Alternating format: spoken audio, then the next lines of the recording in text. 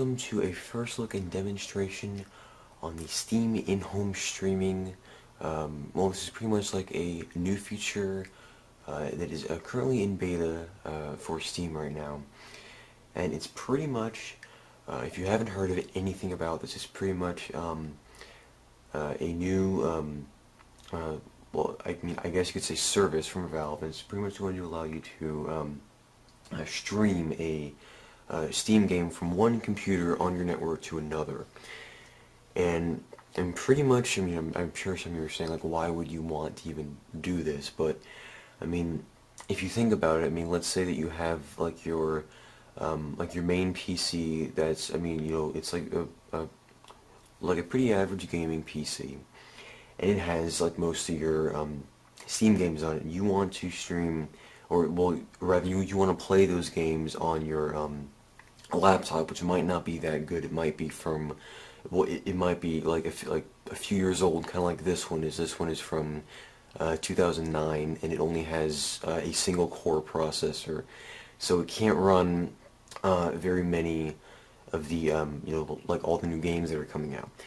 But what you can do is um, you can actually uh, stream Steam games uh, from that um, uh, main PC over to your less powerful PC. And that's what we're going to be doing in this video. We're going to be taking a look at this, and it's actually very cool, um, but it is very dependent on your uh, internet connection. So if you don't have like the best um, like internet connection in your house, uh, or if you have someone that like always watches like you know like Netflix or something like that, then this is probably going to be not the best experience for you because you're going to experience a lot of lag and uh, a lot of latency, and that's not always good. You're, you're going to be seeing that here because, um, well, first off, this computer is not that powerful, and second off, um, the actual internet connection between these two machines isn't that great. Uh, and the reason why, if you're wondering why I have this uh, like actual Steam uh, group page up here, is this is the um, like actual Steam group page that you have to join if you want to gain access to this service. It's called, uh, well, if you look on Steam for the group called Home Stream, uh, that's what the um, group is called. And uh, if you uh, join the group and you get accepted, then they will um, pretty much grant you this um, like a beta feature. Um, so we're just going to be taking uh, a look at it in this video. Uh, first on Windows, and I'm also going to be trying it to do it on um, my other Linux partition to see how well that works. So, anyway, with all that aside, first I'm going to be showing you uh, how the, uh, user interface actually looks. So if you go up here to your Steam menu and you go to settings, you'll know when you actually gain access to this when you see a, a new tab called in-home streaming. And I'm going to zoom in on it here so you can see it a little bit better. Now as you can see here, uh, we have a few options. First we have the um, like the PC that you are actually connected to, uh, which it says that's my um, like main PC up there. It says connected. You can also, uh, I'm not really sure if you can see those options that well, but uh, they say um, uh, limit bandwidth to, and you can change it uh, to a, uh, a, variety of options. The default is automatic. You can lock frame rate to, uh, and it's either automatic 30 FPS or 60 FPS. And you can limit resolution to. Now this is very interesting because um, pretty much how this works is it is only able to stream uh, uh, how can I say this? Because this is going to be very confusing for some of you guys. Um, so that main PC that you're actually like actually streaming a game from, uh, let's say you have like a uh, like a 720p monitor hooked up to it, and you want to like uh, stream a game to a 1080p monitor. Um, you're only going to be able to receive the game footage or will the game stream in 720p because that is the maximum resolution that that um, like monitor can handle because the game is actually running uh, on that uh, like main PC while it is being streamed uh, to the client PC. So pretty much the main PC is being used as a server while the PC you're actually uh, streaming the game to is used as a client. That's pretty much how this works. So um, just to sort of like bring the lag down, I'm going to be streaming this in 720p instead of 1080p. Um, and I tried uh, 480p, but for some reason it didn't work uh, with a lot of the games, so that's why I'm going to be having it down to uh, 1280 by 720.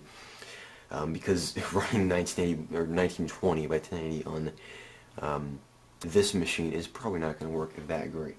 So anyway, that is all the um, options that you get. You also get a uh, disable hardware decoding checkbox because pretty much um, how it actually sends the game stream over is it actually will compress the um, like the game footage into an H.264 file, which is pretty much like an MP4 file. Then it will send that over the network to the other PC that you're actually streaming the game to. That PC will then decode it and then accept input and then send that input back to the main PC where it's, uh, it's actually being run off of. So if you understood all that, it's pretty much a constant connection between the uh, two machines. But anyway, uh, let's just uh, get out of this here. I'm going to go to the uh, Steam library here. I'm going to be testing out a few games. One is the Stanley Parable because I just have that installed on my main PC. And I don't actually have it installed on this computer. If you see here, uh, I can either uh, stream it or I can install it on this machine. This is not on this machine at all, uh, so we're actually going to be seeing how this works um, well. Uh, and this is a uh, just like a standard Windows game. Uh, it's a very good game if you've uh, ever played it. Uh, I think it's about $14.99 right now in the Steam store. and we're, we're going to be trying out a few games. I'm not. I mean, we're going to probably try out like maybe Portal 2, maybe Half-Life 2. I'm not certain, but I also want to see how well that works on Ubuntu Linux because that's going to be very interesting to see. So anyway, enough talking. Let's just click on the stream button here is going to say preparing to stream the Stanley Parable. And it's going to start running. Now, I can't really show you right now, but on my um, like main PC, which is actually sitting right next to me, the game is like actually starting up. So, um, you pretty much can't use the uh, main PC uh, or the server computer while uh, it is actually streaming a game and apparently now it just went to the desktop for some reason. So you see, this is very interesting because this is my desktop right here, and apparently TeamViewer decided to pop up. So now we're streaming my computer's desktop over. So let me just go over here and close out of this. So you see, now I'm actually like controlling this computer from here. It's very, very interesting. That, that's how finicky that this um, software is right now. But anyway, uh, so you can't actually use the uh, I, I, guess we'll call it the uh, server computer while it's actually uh, running the game because if you like actually mouse out of it then you're going to just go back to your uh, like um, normal computer's desktop uh, which would kind of defeat the whole purpose of this but anyway if you notice down here in the corner it says you can see that right here probably can't really zoom in on it but it says streaming beta 1280 by 720 at 28, and it's just like uh, changing but that is the uh, actual FPS rate right now. It's at like about 30 it keeps um, you know changing and you can press F6 so you can see in the dark here. Uh, F6 shows the um, pretty much like the lag uh, latency graph here shows how like how the uh, game is actually being received it shows the rate that it's being received at and it shows any latency so right now it is receiving this at uh, 200 and or, or 2,000 and I, I, can't really because it's just it's changing constantly. I'm not really sure if you can see it. Uh, right now it is at about uh, 2,000 kilobits per second because uh, this is pretty much like a video uh, file right here. And anyway, we'll um, maybe we'll uh, get rid of this. And you can see there was that major lag spike. You can probably see that right there. So that's how laggy that uh, this software is right now. Um, but of course that could uh, be because I'm using a single core computer with a not so great internet connection. But anyway, you can see that we have uh, full control over the game. It's just very laggy, but you can see I'm like actually mousing over the uh, game options here. So if I want to, uh, if I can see it here, I can't really see, really see what it's doing It's very, very laggy. So we're going to go mouse down here to begin the game. We're going to click on begin the game, and now it's loading with its the end is never screen here. And I'm actually gonna, I actually want to see how well that this uh, little like intro sequence plays out. So let's see here.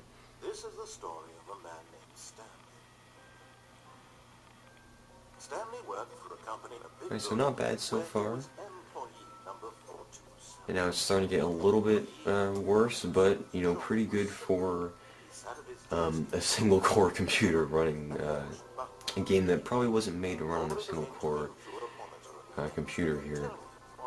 And you can see it here, we can just uh, click here and we'll skip this whole thing, because I'm sure if you've played this game, you've kind of seen it before. And here we are in the office. Uh, now, moving around is very, very, very laggy. Very, very laggy. Um, but it does get better. Uh, right now it's running at about like uh, 15 frames per second.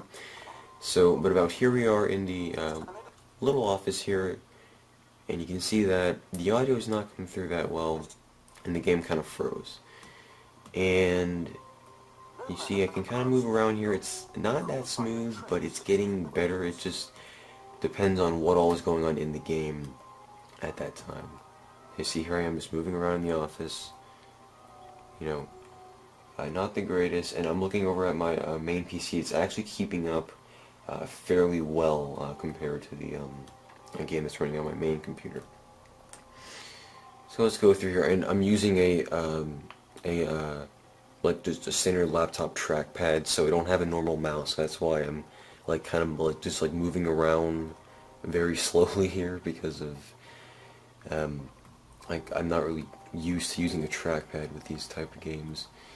So we'll go in here. I'm not, I'm not going to play this whole game for you guys. I'm just going to show you how, you know, good or bad. I mean, you can probably be like the judge of that. But I mean, for right now, I probably couldn't be able to use this software because of my internet connection. And I mean, I'm not really sure if it's the um, like actual internet connection. It's probably because this computer is um, not really designed to run any of these games. But it does, uh, you know, handle it pretty decently, if we can say that. So anyway, we'll click on, you know, quit here and we'll quit the game. And now we will go straight back uh, to the desktop. Um, so, uh, I think that is all there really is to say uh, for the Windows side of things. Uh, now what we're actually going to be do doing is something pretty interesting. We're going to be uh, uh, switching over to uh, a Linux partition that I have on this computer. And we're going to be seeing how well that it handles Steam in-home streaming, or even if it can support it. So I will switch this machine over to Linux, and I will be right. Alright guys, so we have uh, switched over to the uh, Linux side of things. I'm now running uh, Ubuntu Linux here on the exact same computer with the exact same specs and all that. Now first off, like before that we actually start streaming a game, I'm going to be showing you that of all the games that I own on Steam, only, let's see here, 17 of them are compatible with Linux. And they're listed here on the side here. You can probably, I mean, if you want, you can um, read them off yourself. But, so, I mean, Linux is, you know, it's, I mean, Steam uh, came out for Linux, I think, sometime last year, so it hasn't really been that long. Um, but what I think Valve is actually trying to do with uh, Steam in-home streaming is um, pretty much allow other operating systems to play, um, you know, well, like, I mean, pretty much Windows games, because most games, when they're first made, are made on Windows, and then they are eventually ported over to Mac and uh, Linux, but, I mean, let's say that you own a um, Windows PC and you own a Mac, and you want to play a game that is only on your um, Windows PC on your Mac, or your other Linux PC. Well, now you can do that with uh, Steam in-home streaming. Your entire Windows library of Steam games has just now become available to, to play on a Mac or a Linux computer, which is pretty cool. And the same could go if you have like a Mac and, you know, in that odd case there would be a game that's only designed for Mac or Linux and you would want to, uh, you know, uh, play it on your uh, Windows PC, you could use this uh, for that. But I've never really seen a game that is, uh, or a uh, Steam game rather, that is designed for um, Mac or Linux before Windows. Um, but anyway, now if I switch over to all games, uh, you can see that uh, the, the list grows much larger. Uh, and uh, I'm going to be pl playing the same game, uh, the Stanley Parable here. you can see that I get uh, like no actual side options because the Stanley Parable is a game that doesn't run on Linux at all. It only runs on Mac and PC. They haven't made one for Linux yet, so we're going to be seeing um, how well this works. And one thing I probably should do is go to the Steam options here and change my limit desktop resolution down to 720p just so that it doesn't lag extremely bad here. And as you can see, we are connected to the uh, same exact computer up there. Uh, but anyway, I'll, we'll just click on OK, and we will stream the Stanley Parable here. And now this is on Linux, on uh, Ubuntu Linux, a non-Linux game running uh, on Linux. So we're going to see how well this works. Again, we're going to probably get the same amount of lag we got last time, uh, since, you know, it's, uh, in the course I've mentioned that many times because of the uh, uh, computer itself and the internet connection. But anyway, uh, let's see how well this works. We were actually streaming at, um, well, we were streaming at a solid 29 frames per second, and now we're going down to about 10. Um, but of course, that's just the uh, loading screen. So let's see how well this video plays. story of a man named Stanley.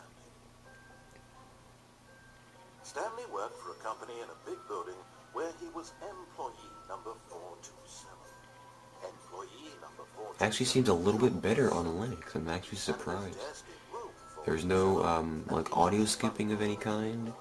Uh, it's not that staticky actually. I mean, well, this is because it's kind of how like the game is supposed to be at this point. But well, here's a little bit of lag. But anyway, let's just click on, just click here, and let's see.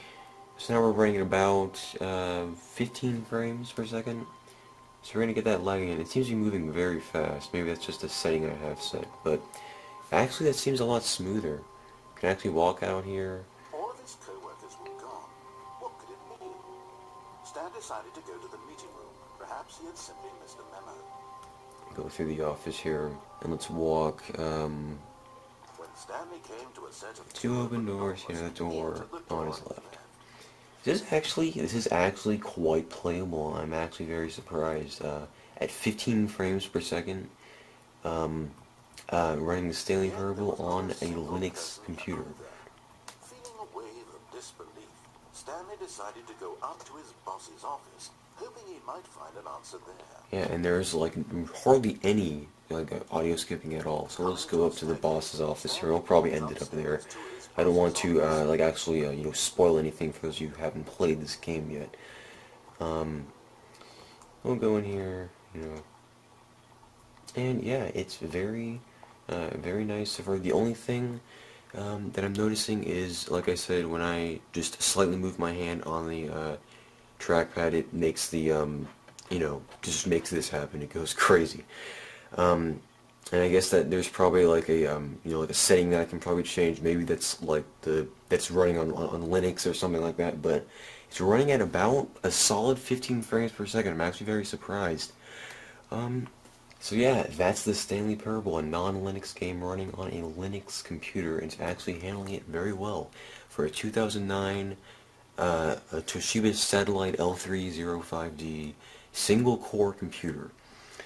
And that's actually very, uh, very good for a single-core computer if you think about it. Um, but anyway, guys, uh, that's pretty much going to wrap it up for the Steam in-home streaming first look and uh, demo here. Uh, if you guys enjoyed, uh, then definitely be sure to uh, like and subscribe uh, to the channel for more videos like this in the future. And as always, I will see you in the next video.